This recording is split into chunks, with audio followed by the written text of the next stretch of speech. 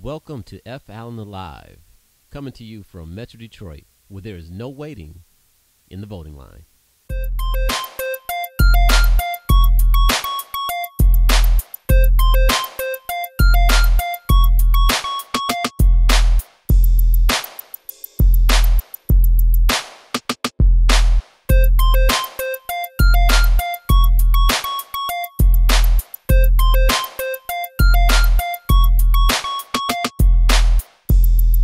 What's up? This is George McKinney, celebrity makeup artist, and you are watching the F. Alan blog, his ignorant point of view. So, this was the scene this morning at the polling station in City Council District 5 That's where I of went to there. vote today. Yeah, those are a lot of people there. None of them are voters. They are campaign workers for the various candidates. And uh, they're all camped out by law a thousand feet from the door of the polling station. And they are handing out flyers for candidates who maybe didn't invest a lot of money in actually campaigning in the neighborhood prior to today. So running that line was like running through a, a line full of uh, panhandlers going to the bus station. Well, it definitely wasn't a Cedar Point line. I thought they might have been celebrating the, uh, or you know, celebrating the the nomination in second place of Mike Duggan, the barber. Right. I don't think Mike Duggan, the barber, is going to be second place.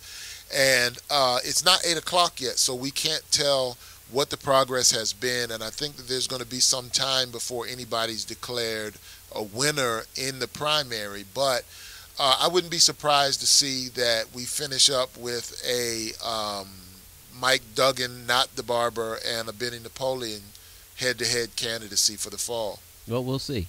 Uh, did you guys vote today? Um, what do you think about the voter turnout? Do you think there should be uh, more? I think that your vote counts even more in the primary because there's so few people. I mean, just think about it. Three people voted today. If you'd have voted, you'd have had 25% of say what, of what could happen. Well, I mean, you know. And if you didn't vote, the real question is why didn't you vote? I mean, I'm sure there are those of you who are registered. I mean, you got registered so you could vote for President Obama, but you're registered, but you haven't voted since then. So why didn't you go to the polls today? Send us an email and let us hear why. And you can send that email to me at f.allen at me.com. It's right here on the screen.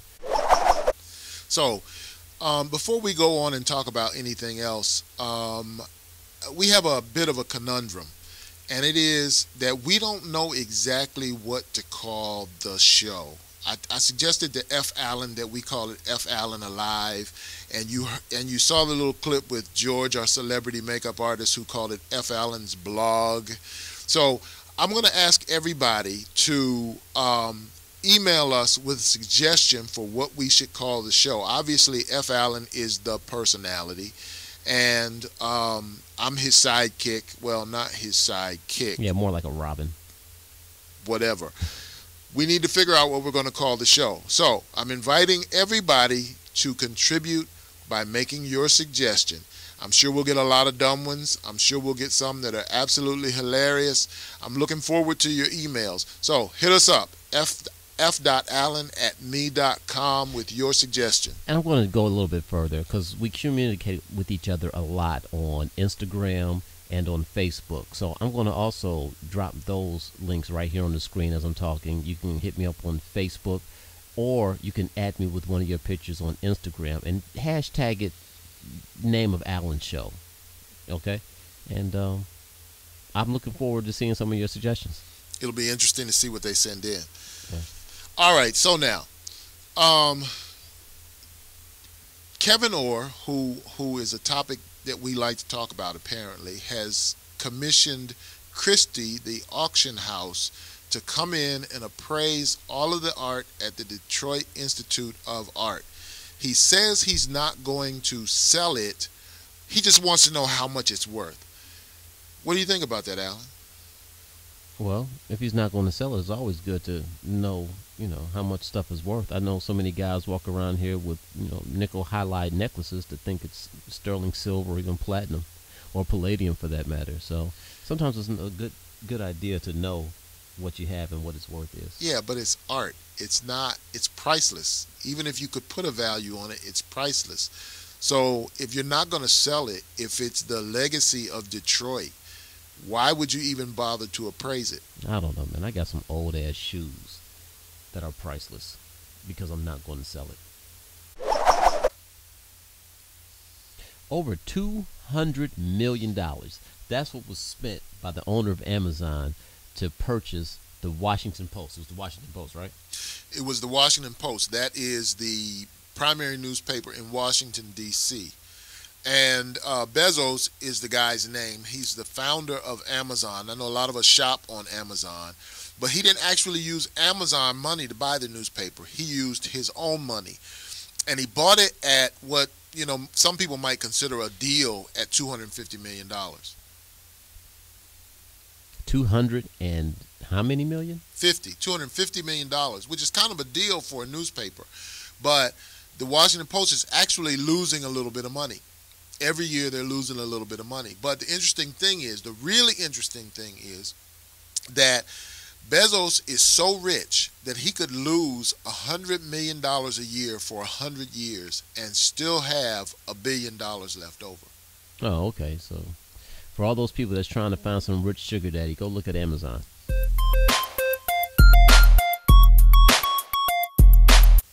It's 9:49 on election night in Detroit, and Mike Duggan, the barber, is at home watching the election on TV. Um, he said that just because he's home doesn't mean he's going to stay at home.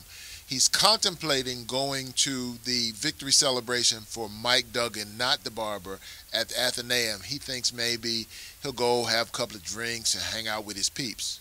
Oh yeah, his peeps will definitely be there.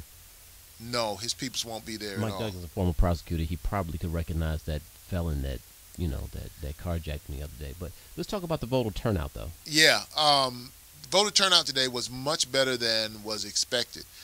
At 5:30, the turnout had gotten all the way up to, get this, 13 percent, and they are expecting that by by uh, the end of polling today, which was eight o'clock, that uh, the turnout would be as high as 17%. And if you don't think 13% is really a high number, imagine that it was your if it was sales tax. okay. if it was sales tax. That'd be a high number. That would be a very high number. Yeah, so let's pat ourselves on the back, Detroit. Now, 13%. Now, I, I guess I guess in defense of 17%, we have to consider that in a presidential election year, on average, voter turnout is only 33%. That means 33% of all registered voters actually show up to decide who's going to be president. Do you know how much your vote counts when it's that few many, when it's that few people making that choice? Yeah, I guess your vote counts more. I just think it's tragic that, you know, the one thing that they gave us when they finally did let us off the plantation, we don't really use. I mean, but when they gave us the vote, they really did split their stock, didn't they? Well, they really did because what happens if all black people, all African Americans go to the polls and vote? What would happen then? We get a pretty crunk president. Crunk? okay.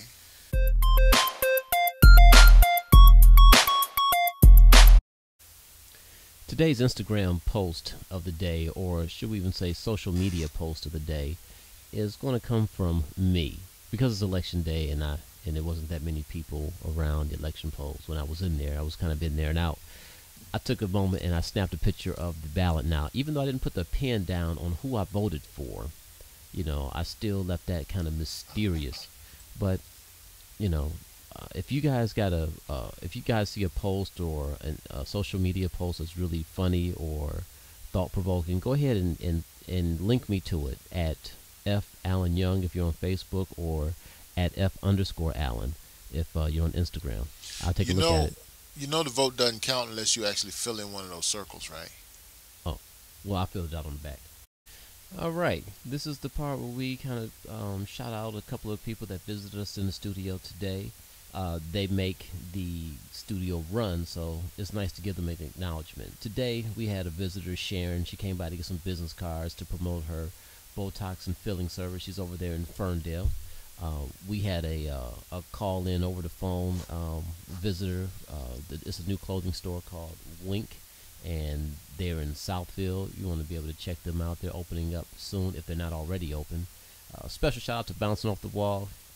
Does thousands and thousands and thousands of flyers through us. We really appreciate that. And Trisha, hair stylist, stopped by today. Also want to give a special shout out to Teresa from T Styles for coming and doing a photo shoot with us, as well as Candace Slay. Always on time, always on point. We gotta love that. And George McKinney, who gave us a, a special intro today, shout outs to you as well. One last thing before we go. Something to think about as we leave. If people assume that a man with big hands and big feet has other big parts, what do we assume when a woman has big hands and big feet? And she's got the same big part, or maybe he's got the same big part. And why do we have to question her gender just because she has big feet? You inferred. You you implied? Can't help what you infer what I imply. Well, when you say he, if I asked about a she, Mm-hmm. right? Exactly. So here we go. So you want a she with big parts? No, um, it was just a question, Alan. Okay. I'm not answering it. Well, Hit it- we already know you're phobic. Hit him on his email. Yeah, I'm, hit I'm, him on his email. I'm retarded phobic. Retardophobia. Cue the music. Later. it's a wrap. Cameraman, shut that off.